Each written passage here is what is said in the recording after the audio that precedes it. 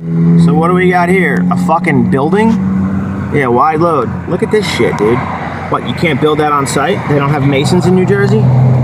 Jesus Christ.